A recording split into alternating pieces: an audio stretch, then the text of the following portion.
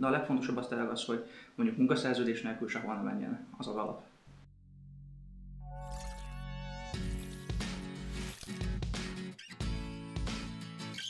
Nyáron rengeteg tanuló szeretne pénzt keresni szabad idejében.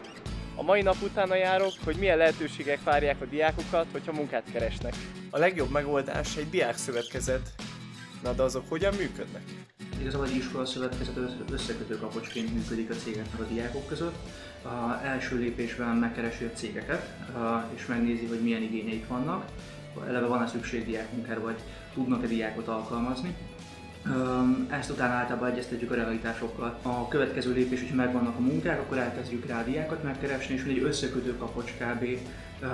próbáljuk a lehető leggyorsabban és a lehető legeredményesebben megtalálni a, munka, a, a munkaadó számára megfelelő munkavállalót. Teljesen mindegy, hogy, hogy hogy mondjuk adott cég esetleg nem fizet ki minket, nekünk akkor is kell fizetni a diákat, hiszen mondjuk a mi, a mi munkavállalónk, ha bármilyen mondjuk konfliktus van a diák meg a cég között, ilyen is előfordulhat, akkor is ugye mi vagyunk a, a, a, a diákoknak a képviseleti szervek, és mi képviseljük őt például a céggel szemben.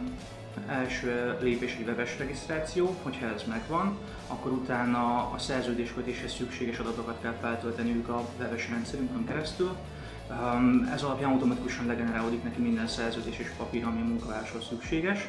Uh, ha ez is megvan, akkor két lehetősége van arra, hogy szerződést kössünk. Az egyik az, hogy eljön hozzánk személyesen, és személyesen kötünk szerződést, a másik az, hogy távolról. Ezt egy külső alkalmazással a DocuDrive-on keresztül csináljuk, és igazából digitálisan, teljesen papírmentesen tudunk már szerződést kötni.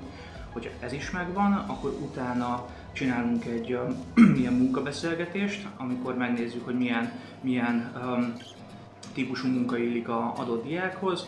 Ezt megtehetjük szintén személyesen, hogyha valakinek erre van igénye, vagy hogyha valaki a kényelmesebb verziót választaná, akkor, akkor most van lehetőségünk videó beszélgetésekre is, szóval távolra, akár otthonról, telefonon vagy számítógépen keresztül is meg tudja a diák. Ami, ami az alap, az az, hogy, hogy mindenkinek legyen nappali tagozatos hallgatói jogviszonya, mert csak azokat tudjuk iskolaszövetkezeten keresztül foglalkoztatni, akik nappal is diákok. Nagyon sok fizikai munkánk van, többség könnyű fizikai munka, a tipikus ilyen, ilyen polcpapolás, címkézés, matricázás, ezek az ilyen legáltalánosabbak, emellett rengeteg irodai munkánk van, kisegítő, irodai kisegítő, asszisztens, adminisztrátor és társai, és ez az, amit még, még um, szokott úgymond, hogy ezen felül szokott még előfordulni gyakornoki munkát, és szinte minden területen, marketing, IT, HR, itt az a fontos, hogy mondjuk releváns szak, szakirányon tanuljon az adott hallgató.